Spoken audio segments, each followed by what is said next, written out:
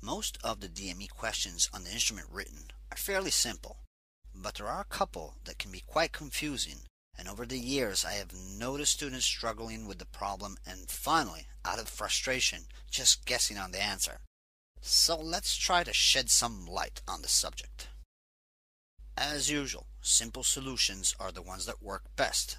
So, given the question, refer to figure 107 where should the bearing pointer be located relative to the wingtip reference to maintain the 16 DME range in a right-hand arc with a right crosswind component?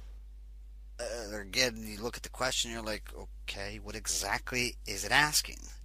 Uh, the question itself is hard to read or understand, so let's first translate this into English. The question is asking, if you're flying clockwise on a DME arc, and all of a sudden you encounter a crosswind from the right side of the airplane, what would happen to the needle of the RMI with respect to the wings? The easiest way to answer these questions is to draw them out on a piece of paper. Don't worry, during the test you are provided as much paper and pencils as you please. If you don't draw it out, chances are you're probably going to get this wrong. So, trust me, draw it on a piece of paper. What you need to do is, first of all, draw a clockwise arc like the one just displayed.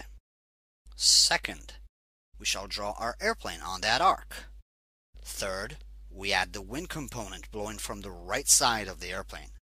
As you can see, the wind would have a tendency to push the airplane outside of the arc, so we would have to crab into the wind, as shown on the slide again.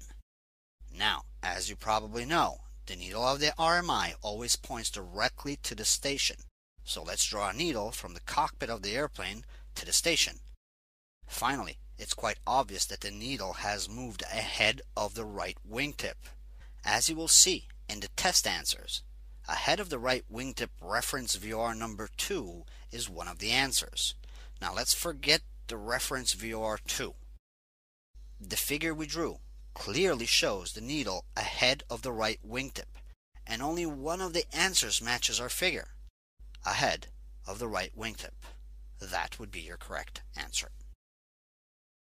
And for more information on this topic and many others, check out passfaaexams.com.